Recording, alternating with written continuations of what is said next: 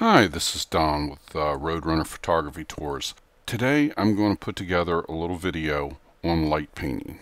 As you can see, this old Dodge truck, it's just, there's a lot of different shots here on the left. For instance, you know, I've got the light here on the left, and it's nice light, that looks good. But where's the rest of the scene? It's just not enough to carry the image. Over here I've got a little light on the left side. Again, it works, it's just not enough. So, then here's one where I lit the background. I lit the trees, I lit this fence line. So again, it's where we just have to uh, put things together. Now here I'm constant. You can see the beam of light here on the right side of the screen, but you know I'm I want these this row of trucks. So when you look at the front of this old Dodge, your eyes got somewhere else to go besides just the truck. But yet it doesn't dominate the scene, so you're going to come back to the truck. Whenever I light paint, while I might try to put things together in one shot, depending on what it is, sometimes it's very easily doable, other times not so much. And, you know, in this case, not so much. I couldn't get you know, light on the trees, light on the trucks, light on the primary truck, you know, light on the lawn. There's just no way to do that all in one exposure. A common practice I use is blending in Photoshop. So let's go ahead and get started. And you just have to pick one image to be your base image. And I've decided I'm going to pick this one. Uh, now, if you'll notice here on the side, they're all JPEGs. I do not shoot in JPEG. These have been converted from the original RAW files. It's just easier and quicker to work with for demonstration purposes. Okay, this is going to be my base image. You know, the light on the trees is really nice. I'm not really a big fan of this fence here. The light on the trucks over here isn't bad. The light on the trees. So it's, it's a starting point, and that's all it is. So, let's go back to the bridge. And a word about Bridge, Photoshop, and Lightroom. I use all three. Um, I use Lightroom to import all my images, to catalog those images. Um, when I'm working on a single image, I take it from Lightroom, sometimes into Photoshop, or oftentimes into Photoshop. But when I'm doing um, composites, I just find it a little quicker and easier to work with Bridge than Lightroom. But it's it's personal preference. There's no reason you couldn't just use exclusively Lightroom in Photoshop to do this. But uh, anyway, just wanted to get some thoughts on that out of the way um, in case someone was wondering. Let's just go ahead and pick the first image. The other thing I was talking about, look, just look at the difference here in, in the light. I mean, you know, there's some nice ambient light still. Um, on this and I'm going to go back to the bridge real quick and just show you. I started working on this at 8.46 p.m. which was probably about 20 minutes after sunset and then I finished working on it at 9.03 p.m. That means, you know, finished running around, lighting different areas. And I did more than just the shots you're seeing. These are just the shots I chose to use to try to put this image together. So there, there's certainly more, to, you know, there were more than just these images, but uh, always take more images than you think you're going to need because if you don't, you know, there's a good chance you're going to get back in front of the computer and wish you had just that little something else. So, back to Photoshop. So this tutorial is really about just assembling uh, simple light paintings get them in Photoshop, getting them blended. Just concentrate on that. So I click the Move tool, which I have up here in the top left corner. I'm going to hold down the Shift key, and I'm going to just click, drag, place it in the original image, let go of the mouse, let go of the Shift key, it auto aligns, it's right there. There's the old image, there's the new image. Okay, so I want to paint in aspects of this onto that background image. Down here along the bottom, this is called your layers palette here on the right side of the screen. And this is your, this is layer masks, this little button here. So I'm going to hold, if I just click that, I'll just show you, it brings up a layer mask, but it's white. White reveals. So basically, it's revealing everything about this layer one is coming right through this layer mask So that's not how I want to work um, because what you would be doing is you would be subtracting what you don't want out of this image. I like to build or add to my images, not subtract. So I generally use black layer masks, not 100% of the time, but most of the time. So let's just hit Command Z to reverse that command. I'm going to hold down the Alt key this time, click on the layer mask, and I'm going to get black layer. Okay, perfect. Now I'm going to come over here to the left side of the screen and let's go ahead and just make this full screen. Okay, so I'm going to come over to the left side of the screen and I'm going to click on the brush tool. Now I just want to talk real briefly about the brush tool. There's uh, you don't even worry about that. You just want a regular brush tool. These are your brushes. Um, generally, the size is adjustable, and I don't come in here to change sides sizes. Um, I use the bracket keys on the keyboard to adjust the brush size. Then for hardness though, I will come here. Oops. Okay. But I find 10% hardness works really well and I'll show you in a in an upcoming layer what I mean by hardness. Okay, blend modes. Don't worry about most for most of my light painting I'm going to use normal. Sometimes I will use a different blend mode when I want just a certain aspect to come through. Maybe I only want bright pixels to come through and I might use a screen mode or a lighten mode but but again don't worry about that right now opacity okay this is how much so like if at 50% opacity if I paint on this mask for instance I'm just going to drag across the front of this truck 50% of it came through. Now let me go over here next to it, bring it up to 100%, and then this is actually, of course, the light's falling off. Okay, here you can see this one on the right is brighter than this one in the center. So basically, you know, it's it's how much of that image do you want to come through, or so it, it's just opacity. So I usually work at 100% and then sometime and then I'll back off. So I, I I might add more than I want or put more than I want and then I subtract what I don't want. Um, you know, one of the things about Photoshop is there's just so many different ways of working in it. Um, you uh, there's not necessarily a right or a wrong. It's just uh, you know, there's different ways to achieve the same thing, and then you have to figure out, well, you know, what really works for me.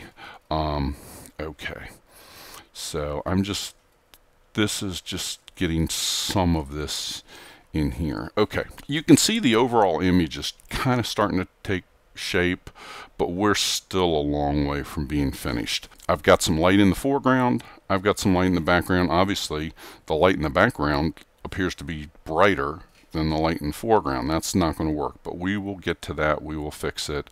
All right, I'm going to go ahead and close that layer. I, I don't need it.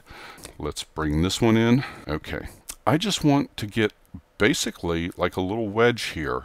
Just I'm going to use just this to kind of throw a little light um, on the front of the vehicle, a little bit on the lawn.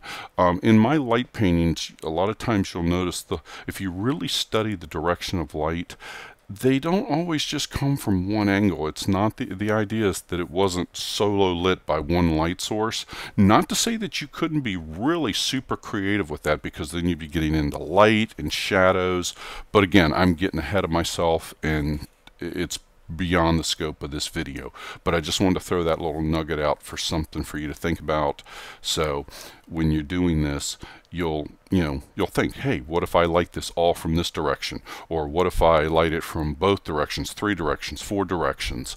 Um, it's up to you. It's your creation. Um, there's no right or wrong. It's just what works what appeals to you. So I'm going to just drag that over and drop it okay? And that was just move tool hold down the shift key click drag release. Okay. So remember I just want this bottom left corner maybe a little bit of light up on the right side of the truck that's all I need from this one I'm going to hold down the alt key click on the layer mask I've got my black layer mask click on the brush key and just kind of throw a little bit of Okay. Now you can see I, I really that was sloppy, and and that's okay. It's easily fixed. Um, up around the cab here, um, I did get a little bit of the direction of light, but look how big my brush is in relation to this. So I'm going to just hit my bracket key, bring the brush smaller, and see this is where it's spilled. So I'm going to come over here, swap the colors, get my black brush, or get my, um, oops, see the mirror is dark, but now I'm putting the light back on the vehicles. And I've got another layer with the mirror lit, so that's not a problem. Okay, so I just want to brush out you know, where I spilled, um, spilled a little light. Okay. You can see there's a transition between here and here. This is one of those cases where it might be better to work at half opacity just to try to um, kind of smooth out that transition. And, you know, grass is, grass can be difficult. Let me tell you one thing about grass and tree leaves. Think about you know, each blade in that lawn or each leaf in that tree is reflecting light at a little different angle than the ones next to it. And believe me, that can give you some complexities and headaches and things like that. So think about direction of light when you're shooting. That's that's all I'm really saying. And like anything else in photography, you know, it's just you have to get out there and practice. So Anyway, our image is starting to take shape. Of course, the front of the truck still looks kind of hideous. Um, but let's just, let's keep building. Okay, there's that. And, okay, now this is one I like. The front of, this is where I painted just the front of the truck. Um, I like the light on it. I think the front looks really great. It's a nice warm tone. Um, if you take one of my light painting workshops, we'll talk about the different types of light and the different types of uh, color temperatures and pros, cons, how you work with it, how you deal with it, that sort of thing. Okay, again, I'll hold down the Alt or Option key, bottom right hand corner of the layer palettes, click Layer Mask. Okay, so it's hidden that truck. I want to grab my brush tool and oops, okay, that's black. I can't paint black on a black mask, so I'm going to change the color over here on the left to uh, my color palette to white and then I'm going to just now of course I'm painting just on the hood but look how big the truck is in the screen I really should blow that up and work on just um, some you know just on just on the truck so that way you can see it I can see it better um, just a better way of doing that okay now if you notice, I mean, so the fender was black. I'll just bring this down. Look at how the directional light between this image and this image, you know, is allowing more of the rust in that fender to shine through. Um, also, it's the, uh, you know, the warmer tone of the light. And, okay. Um, it doesn't have to be precise. I mean, the edge of this bumper, I just kind of hit it. It's not super precise. Um, doesn't need to be. Now, see how I'm painting the grill is grow is going warm? That's one where, again, after I'm finished here, oh no, I'm at 52%. There's, okay. So I'm going to just go ahead and get all this on here. Um, okay. Yeah, if you notice just that little subtle change, and I don't even remember how I did it on my original one, um, because I first blended this image, you know, like three years ago. Um, but for instance, oops, okay, that's all right. Okay. Now, say you go, you know what, that headlight, it looks kind of brown, shouldn't be brown. So, but it was that, you know, warm light hitting it. I don't remember. I may have used two or three different lights to light this truck, so it could be a color change, color temperature difference in the light. But anyway, I'm just going to use white. Now I've got a whiter, bluer light here. So anyway, same with the license plate. Oh, now you know what? I th let's see. Yeah, it's all right. Um, but I need to kind of fix the edges. Okay. Yeah, fix around. Okay, now you see how I spilled over and all of a sudden the grass and everything's going dark here? Because that wasn't what was lit in this image. That was, uh, I was just lighting the truck. So we come back over, I reverse the brush color, and we brush that out. Okay, change the brush color back to white, finish painting the bumper. Okay, let's see. Okay. All right, I just hit the, um, uh, go ahead and tell you guys. Okay, I kind of hit the tire and I'm like, that tire does not look right. And, you know, painted over from this layer. So I just hit, since I just hit just this one area here, I just hit the control Z. Now that I've hit it twice, I'm going to have to step backwards and boom. Okay, now that brings back the original color. So, um, okay. So, you know, the front of the truck's looking pretty good there. Uh, you know, the transitions between the lawn eh, could be a little better, but we're to we're to work on that. So, let's go back to the bridge and go, okay, my next one is just the interior cab. I'm to grab it, grab the move tool, click, drag, and remember I'm holding down the shift key while I do this. Okay. Again, if I hit just the mask tool, it covers it in white, and then what would happen is I'd have to paint out, I'd have to use a black brush, and I'd have to paint out every part of this image except for the window. Don't, not interested in doing it like that. So, click on the layer mask, go to the edit menu, fill, black, and okay. Now, this time I want to use a white brush. I'm going to come over here and change my colors on the color palette. Oh, and one, one just little tip here. Say something happens and all of a sudden you're like, my colors are messed up. Well, that's interesting. Okay, you you know you've got a red now. Oh, well, okay, I'm not sure why it's doing that. Maybe because I'm clicking on a layer and it knows I can't have a color. Um, that it's got to be a tone. Okay, now if you see this over here on the layers palette, it's like two gray cards instead of white and gray. Right above this is a little icon with a clear box and this shaded box.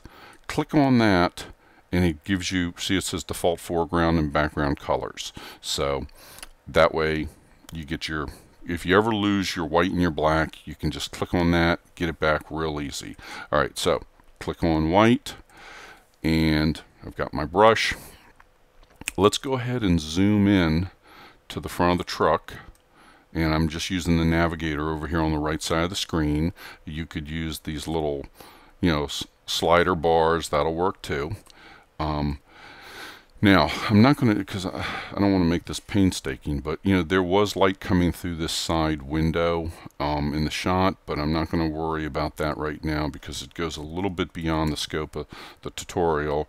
We're not trying to create, you know, a masterpiece here so much as uh, demonstrate the technique. So, I'm just going around the edges. Now, in this case, I'm just going around the edge of the wiper blade. Um, okay, and I'm going to show you something. I'm going to hold down the uh, Alt button. I'm going to click the mask, and then you see that's just the mask. And you, there's a little light spot in there I missed, but that's the mask. You hold down the Alt key again, click on the mask, it reverts back.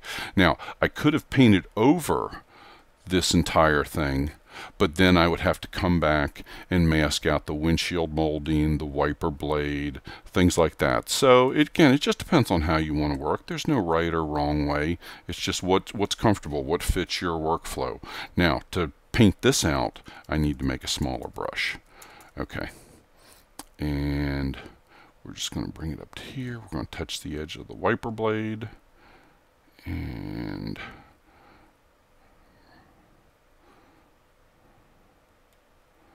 okay. All right. And grab that.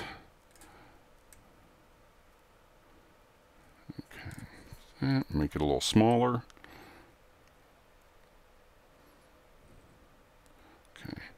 Now this isn't perfect, but I'm going to zoom out and just kind of let you see that it probably doesn't have to quite be perfect.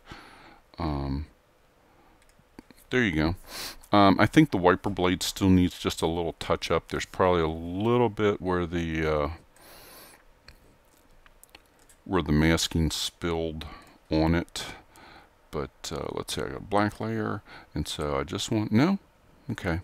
It's still kind of dark in that image. It, it, must have been the underlying base image, which was where I lit the truck from the front, didn't have a really bright wiper blade.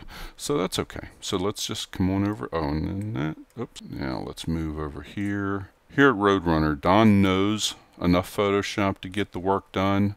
Denise knows Photoshop inside and out. So whenever I have a real problem or a challenge, yeah, she's it's good to have her. She's my resource. Okay, so you know you could take a small brush and paint around the windshield opening like I'm doing here, or you can just take a big brush, get it, and then come back and do your your touch-ups. Um, I like doing it that way. It's just there we go. Bring this down just a little bit. Okay, there we go. Because remember, I'm using, and I'll show, I don't know if I remember, I said I was going to show this um, with the layer mask, and let me go ahead and just show. Okay, click on the, hold down the Alt key, click on the layer mask. If you see here, this is not a hard line. It's essentially feathering, and that's what Photoshop is doing when I told you up here in the top left where your hardness is at 10%. If I went to 0%, it would actually even be a little bit softer line. Or if I went to 100%, matter of fact, I'll just show you. That's 100%. See, it's it's real hard. There's no feathering. So, which is okay right here in the middle of the windshield. It's not going to cause you any problems. Um, you can, you, you, know, if you did a, uh, like say a soft trace around the inside of the, or, or, the outer edge of the windshield, you could come back and then hit it with the uh, hard brush. But I don't think it doesn't, it's hard when you try to use the hard brush to go up against your edges. Okay, yeah, you can see even here that that's nice. We'll see how I'm painting here to get rid of it and the edges are soft whereas the edges here that I was demonstrating the uh, brush opacity or the brush hardness it's a good example okay alright so we're just painting some more get the idea let me just open that up a little wider and again this is you can be as precise as you want to be I tend to go toward trying to be a perfectionist so this is uh, I'm being a little sloppier than I would normally be. Um, but then again, you know, it's like it takes longer to be more precise. And when you do, it's going to make the video longer. Okay, so that's kind of a quick and dirty cut out of the windshield. And you can see, I mean, when you zoom out, I think it's it's fine, especially if, if you're going to blow this up to gallery size or something, you'd probably want to be a little more precise. But sharing with your buds online, um, I don't think it's as critical. Uh, they're not going to see this at 72 dots per inch. Okay, so let's come down and grab another image. It's going to grab this one where we lit the cars and I'm going to grab my move tool, hold down the shift key, bring it over, drop it on the image. Let's go ahead and make the image larger. And just so you know, I, am dragging here, but I could always come up and go view and then click fit to screen and it would essentially do the same thing just it, probably quicker actually with this the cars were already lit with the other image but in this case they're lit just a little bit more a little bit brighter so we're just going yep, see how they got a little brighter so I'm just going to paint that in um, just to make the car stand out a little more um, remember I said grass can be difficult. See, that's kind of light. What you can do, this is again where the opacity comes in. Okay, I just grabbed it down to 44 and just kind of paint it across here. Now all of a sudden the transition is a little little more pleasing, not quite so hard and crisp. And let's close off some of these images that we don't need. Let's let's see. Then I've got this one. Okay. Now this one obviously I just hit the left front of the truck with some light and this is one of the ones that was taken a little later in the evening. Okay, grab that, drop that in, hold down my Alt key, click on my mask and grab my brush tool and painting a little bit on the truck, getting it a little bit lit from that side. So I'm going to just zoom in and kind of show you what I was working on here on the side. Okay, the transition between the trees and the foreground, it's a little abrupt right here, but um, again, we can just kind of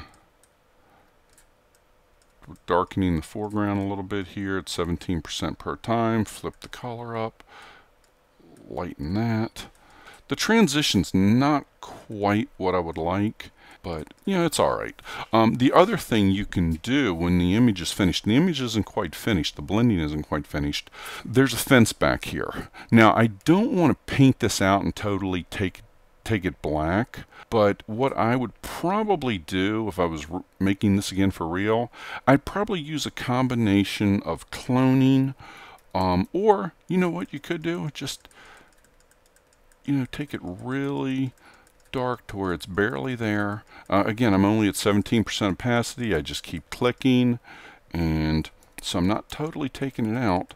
But uh, I'm making it really, really hard to see. Um, you know, to me, it's a distract. The fence, the three lines, the post, the gate. It's a distracting object, and so I don't. Um, I don't really see the benefit in having it there. But at the same time, you don't want a black hole in your image. Or at least I don't think. I mean, it's it's a little easier to get away with it at, with night photography. The other thing I was going to point out here. Um, I'm not sure what this little thing, I don't know if it was like a lightning bug or a firefly, but that little guy right here, um, anyway, when you're completely finished, grab your clone tool, hit it, it's gone. It's not a big deal to fix. Okay, let's just get back. Okay, so that's kind of darkened. Um, I mean, I think that's all right. Okay, so now we have to kind of decide what we're doing here. There's you know, this other fence, there's like an old truck or something in here. It's kind of a mess. So I think there needs to be a little less emphasis on that. So here we've got this image.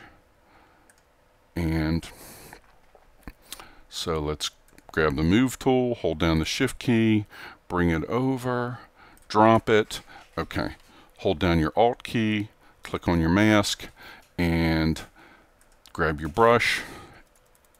And again, I'm just kind of painting real low opacity because, you know, there's kind of a stark contrast between this image here and that image um, where you've got light. And there's this hard line. Uh, I wish I had a little bit more of a graceful transition there, but I don't but it, it's still, I think it's workable. So anyway, so uh, again, I'm at 17% opacity. That's kind of weak. Let's go to 45. Make the brush a little bigger. Okay. And then we can kind of hit the truck a little bit. Oh, and by the way, now see how my mirror here is black? Now, if I only want the light pixels to shine through, I'm just going to, real quick dirty trick, hit screen blend mode, and boom. Um, it did mask in a little bit on the truck behind it because I guess the I'm not sure what let's see I'm not sure exactly why it did that I was hoping it would just do the mirror but it's again it's an easy fix come back over normal blend mode and just a smaller brush comes around I mean for all intents and purposes I think it works so the uh, but that's basically it. Um, at this point, I would collapse the image most likely. I sometimes I go both ways. Sometimes I save this image as kind of like a master, but but it, to work on it further, I would save this, then collapse it. Okay, now. Um, just one thing real quick. The document's 34.5 megabytes. That's the minimum size with it collapsed or just the background layer. But its current size is 304 megabytes. So it's 10 times larger than it really has to be. So if hard disk space is a premium for you, um, you definitely probably want to get in the habit of flattening your images. So I just flattened it. Now it's 34 and a half megabytes. And at this point, I might consider some targeted adjustments to the color or you know, a little dodging, burning, uh, maybe just a hint of contrast. I find that you don't really, if you go applying too much contrast to this image, it's going to brighten the brights and it's really going to darken the darks. So contrast really isn't, it's something I use very sparingly with my light paintings. But again, this is just the basic idea of how you do blending for light painting in Photoshop and it's just meant to get you going in the right direction. And if anybody has any questions you can always drop me an email at don at roadrunnerphotographytours.com thanks for watching